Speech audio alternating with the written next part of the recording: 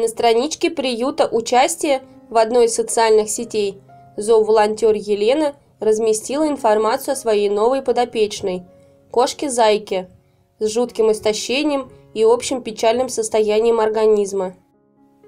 Елена заметила эту кошечку, бродящую по двору, одинокую и больную.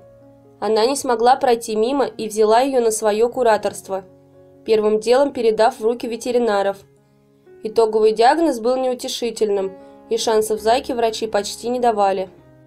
Но Елена не сдалась и решила лечить кошечку. Для Мурлыки потянулись долгие дни в стационаре. Капельницы, уколы, таблетки, осмотры, рентген – Целыми днями она проходила медицинские процедуры. В конечном итоге случилось то, на что мало кто надеялся. Лечение и уход дали свои результаты. И казавшаяся безнадежной зайка поправилась.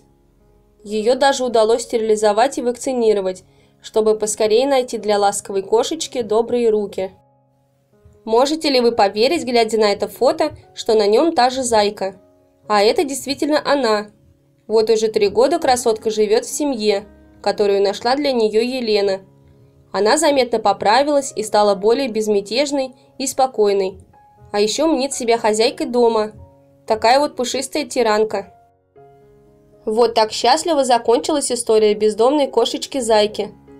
Мимо беды, которой когда-то Елена не смогла пройти равнодушно. Не проходите и вы,